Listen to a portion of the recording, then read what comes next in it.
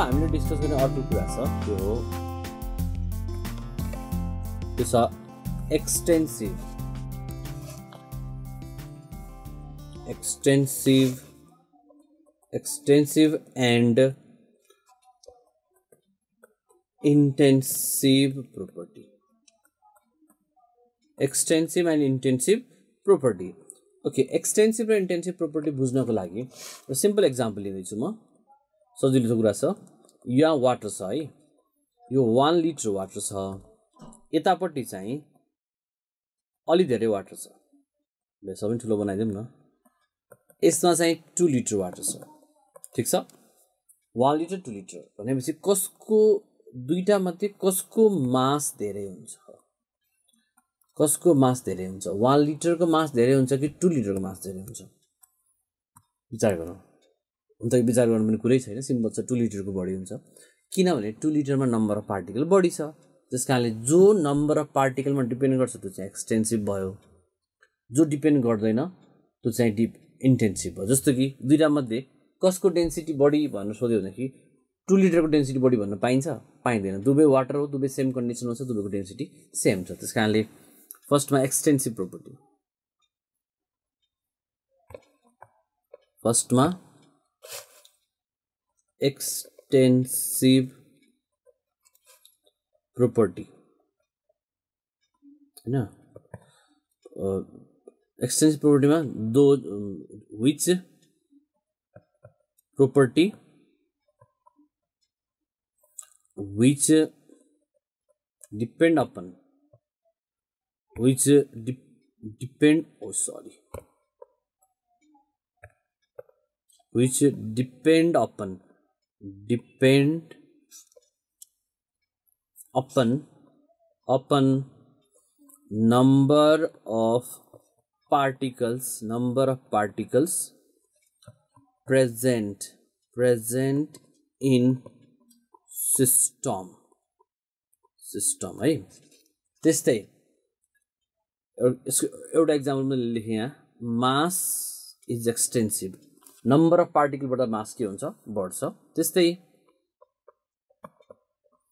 Intensive property density जस्तै पार्टिकलमा depend गर्नु property property which is is independent dependent of number of particles.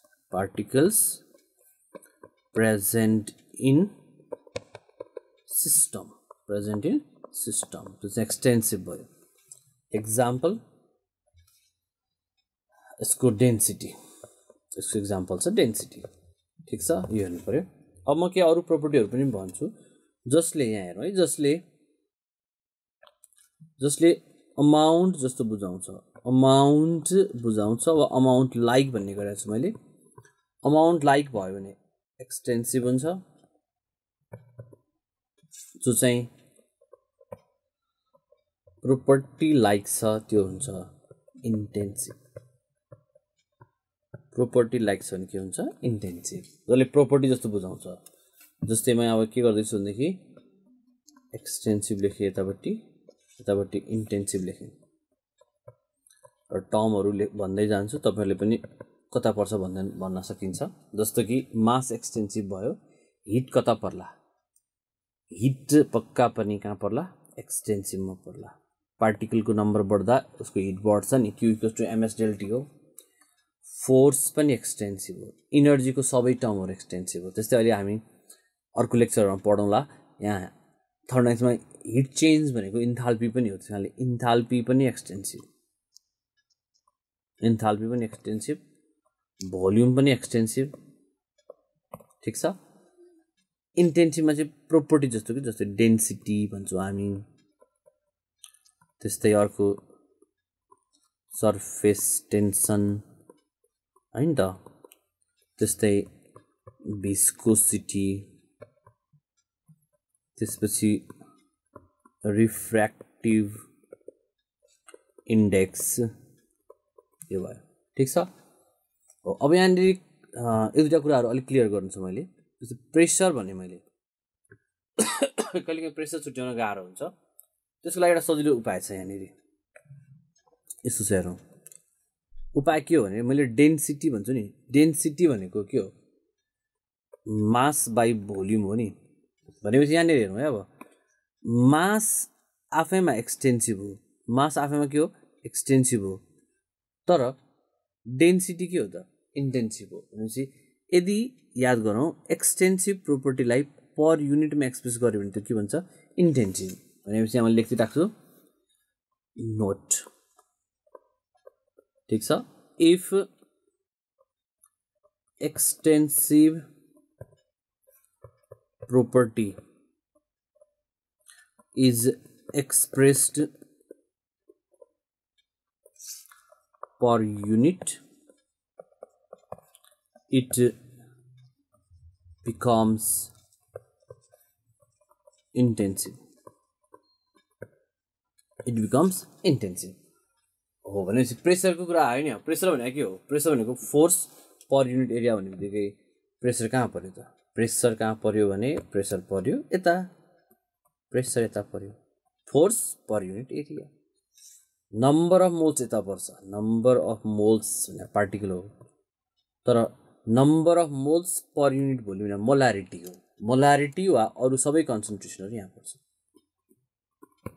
त्यस्तै फिजिक्सको hit capacity यहाँ पऱ्यो तर स्पेसिफिक हिट क्यापासिटी यहाँ पऱ्यो यहाँ पर्छ। यसरी हेर्नु पऱ्यो ठिक छ? यति भएपछि हामीले एक्सटेन्सिभ र इन्टेन्सिभको कुरा बोल्यौँ। पार्टिकलमा डिपेन्ड गर्ने एक्सटेन्सिभ डिपेन्ड नगर्ने इन्टेन्सिभ हुन्छ। ठिक छ? ल। अब त्यसो भए अर्को टर्म हाम्रो के छ भने अँ। अब हामीले बुझ्नुपर्ने अर्को कुरा छ path function and state function okay path function भनेपछि यो के हुँदो रहेछ भनेदेखि depend upon depend upon path of process path of process path of process depend upon path of process state function हो. Independent of independent of path of process यहाँबाट थपौँ only depend upon initial and final condition only depend upon initial final condition जस्तै एउटा सामान्य कुरा गरौँ न। एउटा building छ बुझ्नको लागि है यो ठ्याक्कै यहाँ नमिल्न सक्छ। यो बिल्डिङदेखि यहाँदेखि बाहिरबाट पनि जाने कुनै वे होला यहाँ जानु सकियो। एक केजीको सब्सटेन्स बोकेर। यहाँबाट भित्र घुमेर गयो भने भयो। यताबाट घुमेर यहाँ गयो भने भयो। जान त सक्यो नि त। तर तिनवटा बाटोबाट जाँदाखेरि टाइम डिफ्रेन्ट लाग्न सक्छ। लाग्न सक्छ लाग्छ। त्यस कारणले टाइम चाहिँ के भयो यहाँनिर? पाथ फङ्सन तर जताबाट गए पनि उसको इनर्जी बढ्ने चाहिँ कतिले हो त? इनर्जी बढ्छ कतिले भने एमजिएचले बढ्छ। एम भने मास अफ सब्सटेन्स कन्सट्यान्ट छ। जी भने एक्सलेसन ड्यु टु ग्राभिटी त्यो पनि कन्सट्यान्ट छ। भनेपछि डिपेन्ड गर्यो हाइटमा height depend upon initial and final त्यस कारणले हाइट हाइट केमा डिपेन्ड गर्यो? इनिसियल र फाइनल त्यस कारणले त्यहाँ energy change is state function है? अब हाम्रो थर्मोडाइनामिक्समा चाहिँ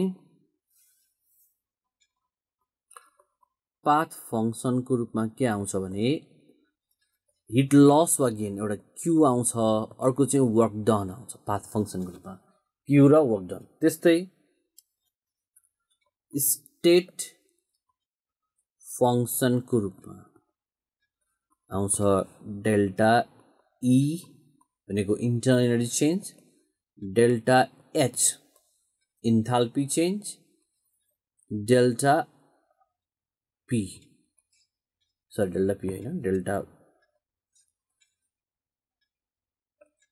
G Gibbs free energy भन्छ, अर्को डेल्टा एस इन्ट्रोपी चेन्ज है यो पछि हामी डिटेली पढाउँला अहिले यति सम्झिराखौँ। डेल्टा लागेका चारै टर्महरू स्टेट हो डेल्टा लागेका चारै टर्म के हो त? स्टेट फङ्सन हो, यो बुझ्नु ल।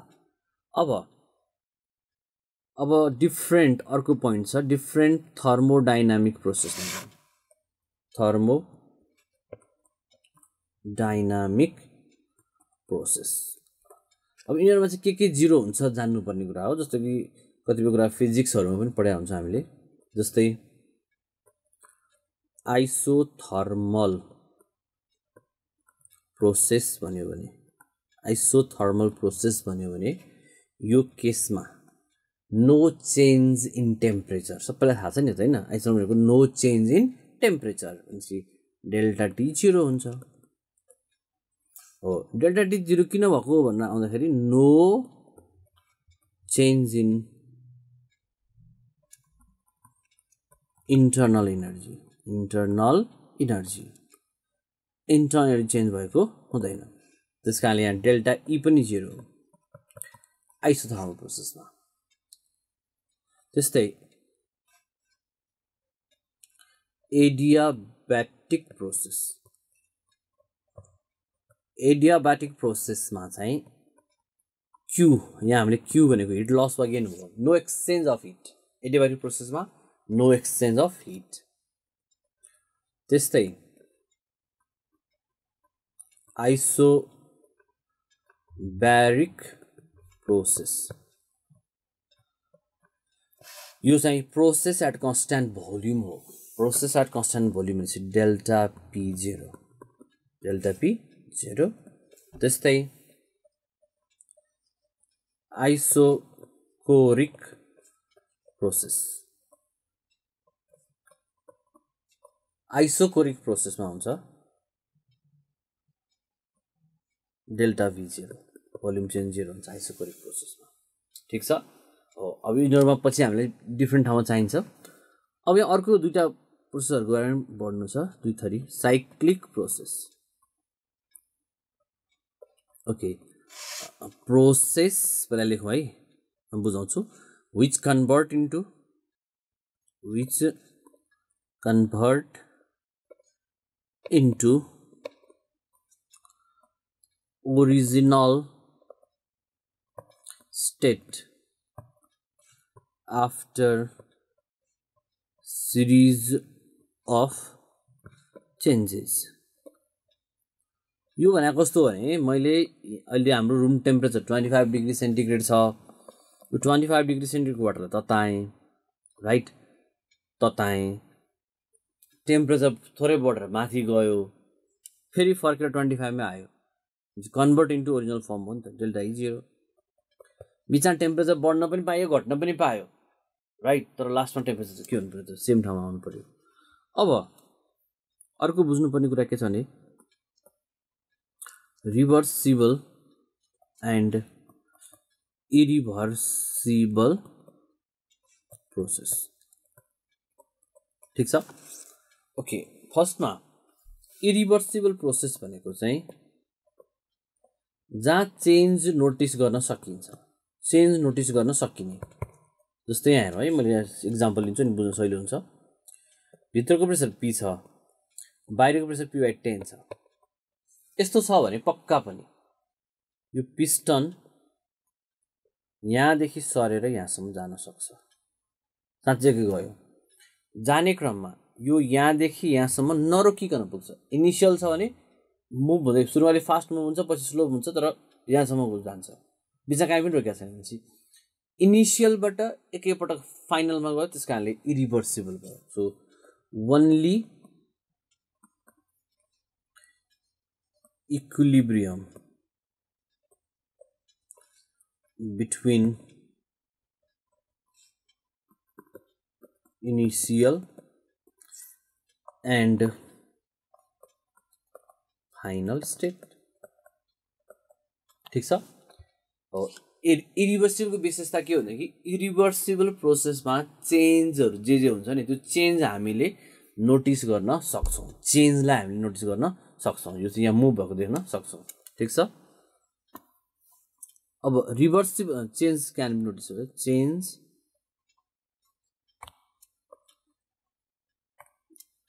change can be detected change can be detected तर यो कुरा